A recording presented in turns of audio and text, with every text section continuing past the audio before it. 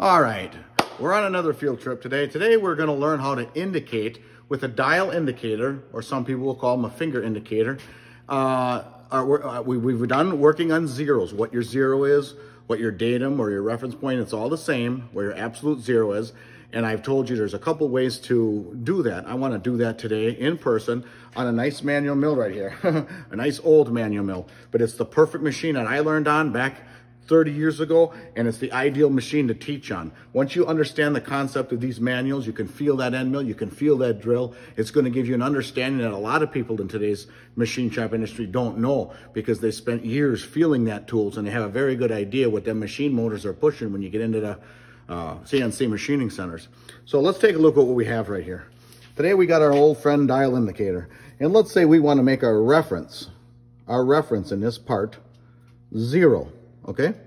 Um, we have uh, our reference in this part, excuse me. This hole right here, we want to make our reference. We could make any hole, but you get the point. I'm going to make this my zero, my absolute zero, right here For, let's say the customer comes back and says, I love the part that you made, but I need a hole right here. It has to be exactly right there. And I can do a little math and subtracting, reverse some simple equations. And I can say, okay, but it has to be in reference to the rest of these holes. Okay, so I can pick any hole I want because I know the distance from the new hole to the ones that I already put in. He revised the print, we'll say. I'm going to take this and I'm going to call this my zero. There's anyone I want to, I'm going to call my zero. And this, this um, uh, analogy in this uh, display, I am going to uh, show you how to make this hole your zero using a dial or a finger indicator. So the first thing we do is we were way off whack here. We don't know where we are. And um, I am going to scoot over there as good as close as I can to my with my eyes. Keep your eye on them needles. Them needles like the brake. Okay. Now, I'm going to line this up and I'm going to bring that over in my X as well as I can. And then I'm going to let me see if I can, okay, get this, and I can see that that's pretty close. Now what I want to do is get closer to the circumference of that circle, giving me a general idea about that far away and that far. I can see my X. See, once I turn it perfectly 90, I'm going to take my Y down here. I'm going to move it. I'm going to just try to get it so it's in the center there. And I'm going to try to get it here. So as you can see, that needle stays Hmm, I could probably move my X a little bit. You want that needle to stay, and then you can just get down a little closer here, so you can get, it. watch the tip of them needles, they break easy. Now I'm going to see easier. See, I'm going to swing it all the way from the left to the right. I can see my X can go a little farther that way. And let's see my Y. I'm right, I'm, I'm getting close to that zero, aren't I? See, this is just a matter of eyeing it up to get it there. Now that I'm about as close as I'm going to be, I am going to take this indicator and bring it down. And I'm going to these are all pivotable. So bring it down in that hole a little bit and I'm just slowly with your finger, bump it up in that wall. Right about so you can read that dial, okay? Anywhere, any number's fine. All we're gonna try to do is make that hole still. Okay, now if you look at me, I'm gonna hold the dial straight to me. So now I'm gonna swing it this way and you can see it went from five. It's pretty close already. My eye is pretty close. Okay, now I'm gonna want you to, I'm gonna come to this side for the camera guy. You hold it on that dial. Keep an eye on that number right there. Bring it over there. Let's look right at that number. There you go. Now let's slowly bring it around.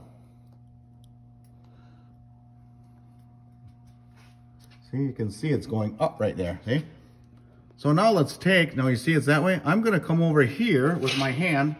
X is on both sides. I'm going to crank this until I get that. Let's bring it back over to the dial.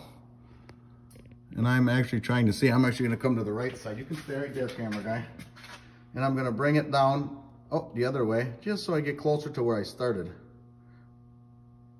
And looks like that's just about out of travel, which is fine, I'm moving that way.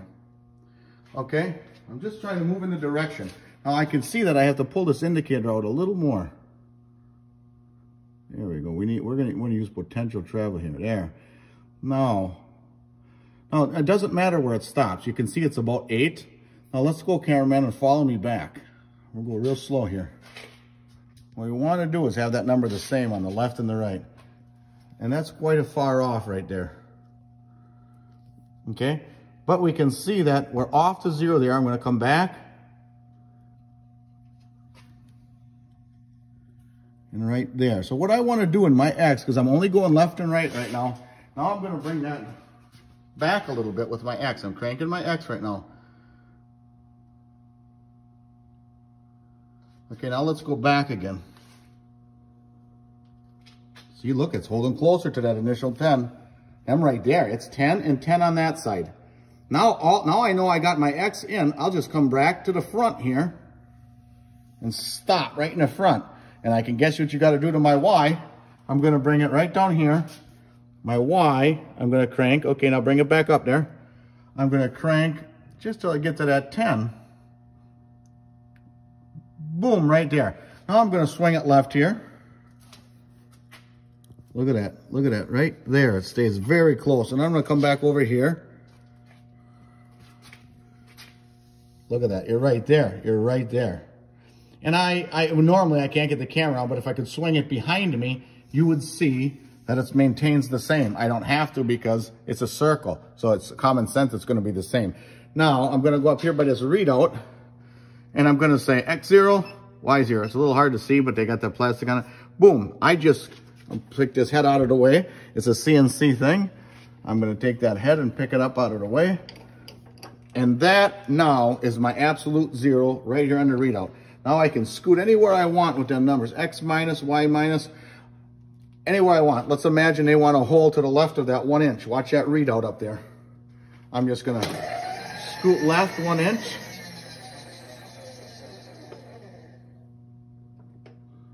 See, one inch. I mean, you're dealing with numbers there. Then I'm gonna scoot Y, let's say minus one inch. Watch that readout. I'll try to hold minus one inch. I'm just cranking the handles down here. It's easy to talk to you and display this. Minus one inch. Boom. Now, if you look here, we're no longer over there. We're X minus and Y minus one inch. If I were to put a drill in this chuck, you would drill a hole exactly one inch to the left and one inch down from our absolute zero.